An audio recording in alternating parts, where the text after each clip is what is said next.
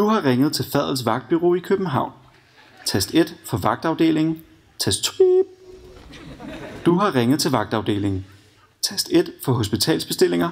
Tast 2, hvis du er studerende. Beep.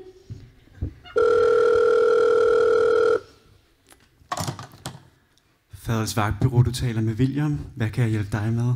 Hej William, du snakker med Tilde. Øhm, jeg har en vagt her i morgen tidlig søndag, og jeg ved godt, jeg ringer lidt sent, men jeg håbede virkelig, at I havde noget på riget. Ja, jeg skal lige se en gang to sekunder her til det.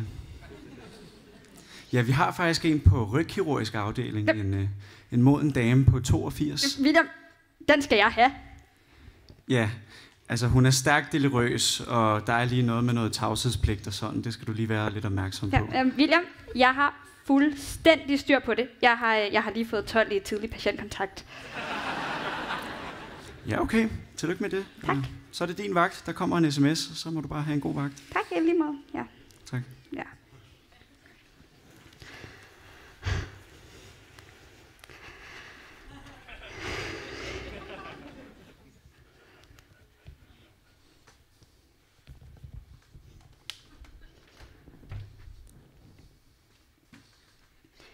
Øhm, var det stue 1, jeg skulle være på?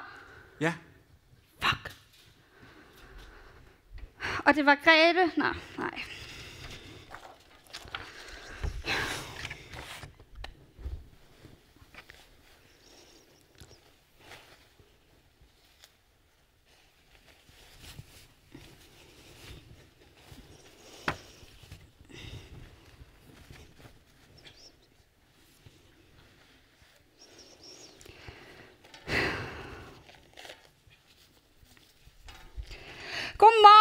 Grete. Jeg hedder Tilde. Hvor, hvorfor råber du sådan? Undskyld, Grete. Jeg hedder Tilde, og jeg skal passe lidt på dig i dag.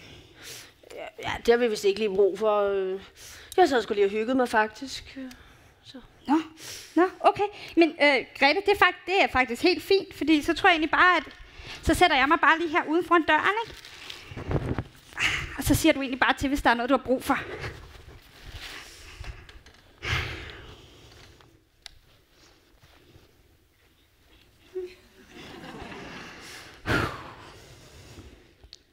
Du sidder og strikker derude.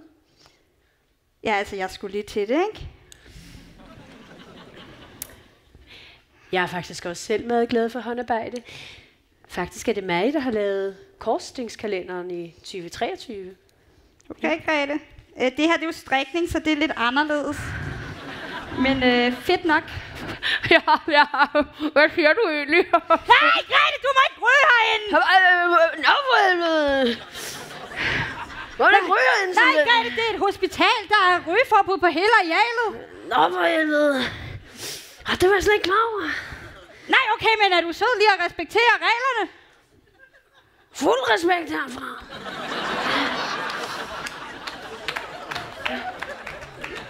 Tak.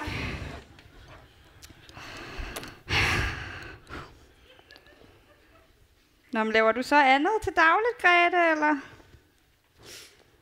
Jo, øh, altså... Altså, jeg er gået på pension, ikke? Altså. Ja, okay. Du nævnte bare det der med, ja, med korsstenene, så tænkte jeg, du måske også lavede noget ellers. Nå ja, altså... Så er der jo balletterne, kan man sige. Mm. Balletterne.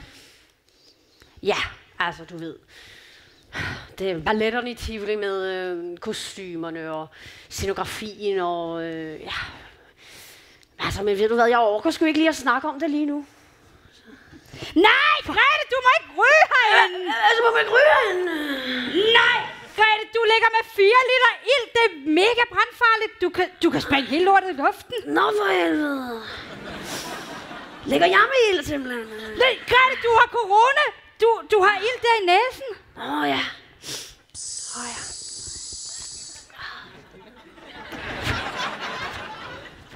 Nej, Grete! Du må ikke ryge herinde. Ja, så må man slet ikke ryge herinde. eller? Nej, vi må slet ikke ryge herinde. Er du, ikke, er du ikke sød at tage din ildbrille på igen? Nej, det var jeg også lidt klar over.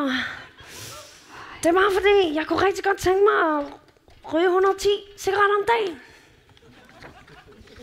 Nej, altså Så, 100, er det jo, så skal man starte tidligt. 110 cigaretter? Ej, det... Hvorfor, hvorfor vil du ryge så mange, Grete? Det er fordi, min mor hun plejer at ryge 100 cigaretter om dagen. Så tænkte jeg bare, at jeg virkelig godt kunne tænke mig at slå en med 10. Ej, Grete, hvordan kan du nå det? Vi sætter vækord derhjemme.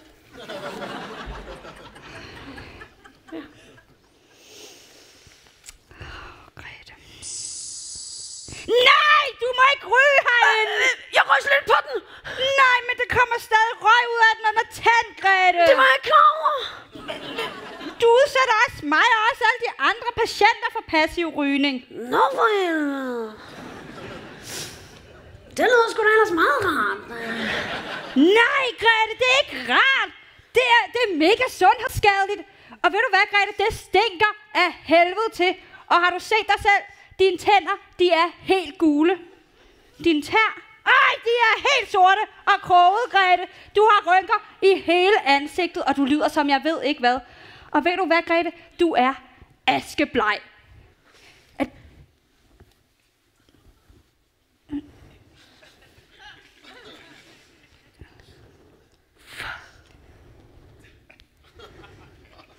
Unge dame.